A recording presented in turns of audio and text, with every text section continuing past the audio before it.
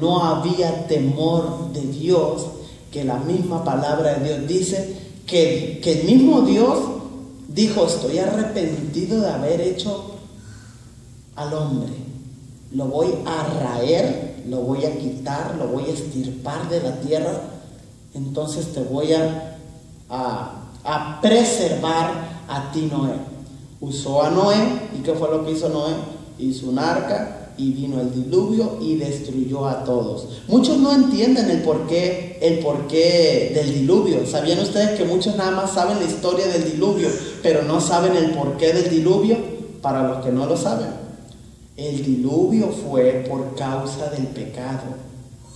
Y dice la Biblia que por causa del pecado que era tanto, los días cuando Cristo viniese iban a ser iguales, pecado.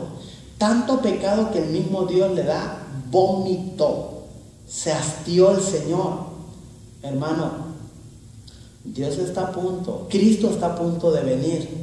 La Biblia Dios hizo una promesa, ya no destruir al mundo con agua, pero ahora con qué va a ser la destrucción que viene.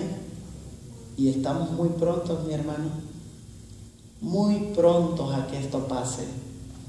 Vienen procesos, vienen otros procesos que se darán escatológicamente hablando, lo que la Biblia habla acerca del nuevo orden mundial. Para los que han oído en internet, la Biblia habla de un nuevo orden mundial. La Biblia habla de que se usará una sola moneda que regirá el mundo. La Biblia habla de un chip que será implantado en la mano derecha o en la frente, que ese chip ya está por allí, que solamente ese chip se usa en la mano derecha y en la frente, como la Biblia lo decía. 2015, entrar al 2016, esa tecnología solamente funciona aquí o aquí. La Biblia lo dice, te lo puedo mostrar. Entonces, vienen acontecimientos que se van a estar ejecutando según la voluntad de Dios.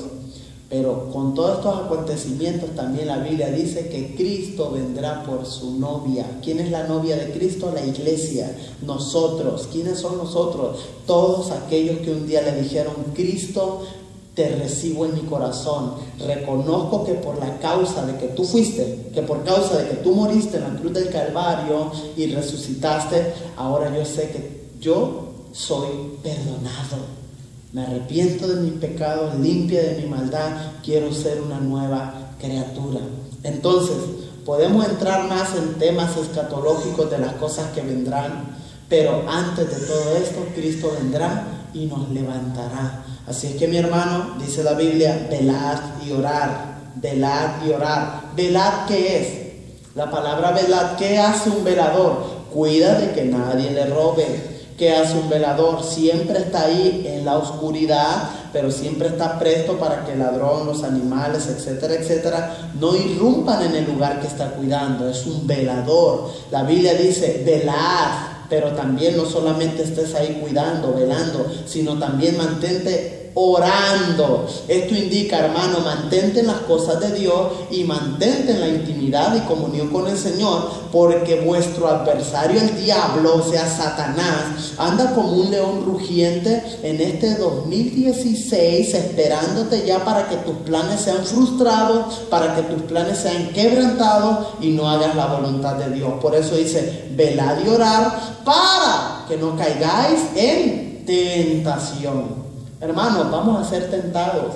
Si se te hizo difícil el 2015 con las tentaciones, si te propuse, si vinieron, en mi caso yo he puesto, yo he puesto el ejemplo, vinieron dos mujeres a ofrecerse hacia mí, y lo digo pues con mucho respeto y con cuidado. Hermanos, tenemos que tener cuidado porque si pudimos resistir una o dos batallas de esa índole, quizá este año pueden venir no dos, sino cuatro, seis u ocho. Por eso velad y orar. Esto indica, esto indica que si nosotros no estamos bien parados, la corriente nos va a llevar. Y si hablamos de corriente, la palabra del Señor habla en una palabra acerca de corrientes, que nosotros no nos dejemos llevar por la corriente de este mundo, dice la Biblia. Hey, no te dejes llevar por la corriente de este mundo. Y cuando habla de mundo, significa sistema. Y cuando habla de sistema, significa costumbres. ¿Y cuáles son las costumbres de este mundo? Tus amistades te van a decir, vente, vamos a divertirnos y pasemos un feliz año nuevo. Para ellos que dijimos que era felicidad,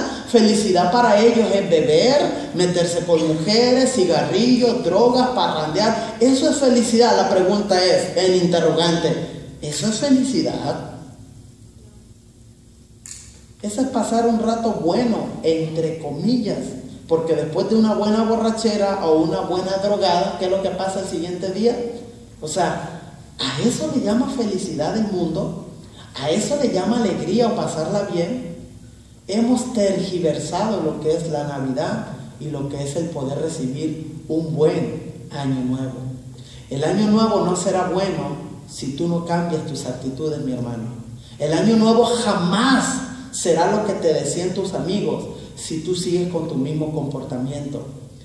Año nuevo será si tú decides tener un comportamiento nuevo, pensamientos nuevos, actitudes nuevas. ¿Y dónde están esas cosas nuevas? En la palabra.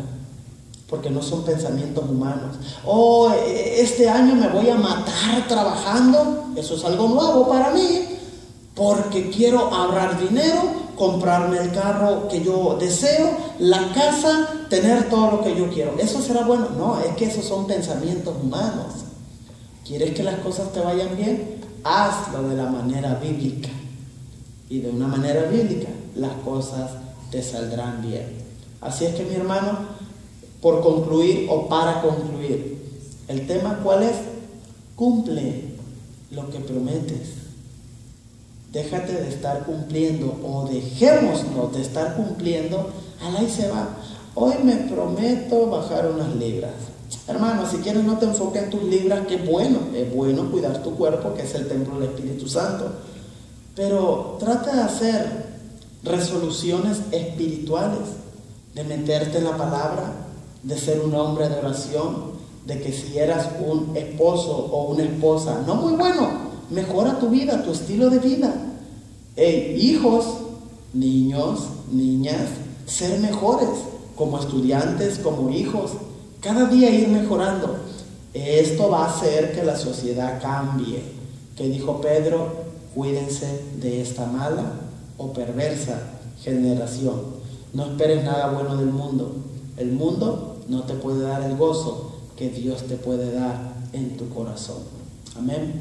Vamos a tener una palabra de oración. Vamos a concluir este video. Le voy a pedir a mi hermano Gilberto que se ponga listo y luego estaremos teniendo un momentito de oración. Amén. Bendito Dios, muchas gracias te damos, Señor. Recibe la gloria y la honra, mi Señor, por tu palabra. Te damos las gracias porque tú nos hablas a través de ella y quizás se ha escuchado un tema medio fatalista para muchos o aquel que lo escuchará. Porque siempre creemos, Señor, que, que la alegría o que el gozo, mejor dicho, es exógena. Pero una buena felicidad y una buena prosperidad no va a venir de una manera exógena, sino endógena, que es del interior. Por eso es mejor sanar el corazón, calibrarlo a tu palabra, mejorar nuestro estilo de vida, para que tú, mi Señor amado, puedas darnos las bendiciones y las victorias que nosotros deseamos obtener en ti, Señor. Gracias, Señor. Ayúdanos a ser personas que cumplimos lo que, que cumplamos lo que prometemos, ya que tu palabra dice que tu sí sea sí y que tu no sea no. Esto indica ser responsable en todas aquellas palabras que salen de nuestra boca y que podamos, Señor, ejecutar según lo que nosotros prometemos. Bendícenos en el nombre de Jesús. Gracias. Amén y amén. Bendiciones.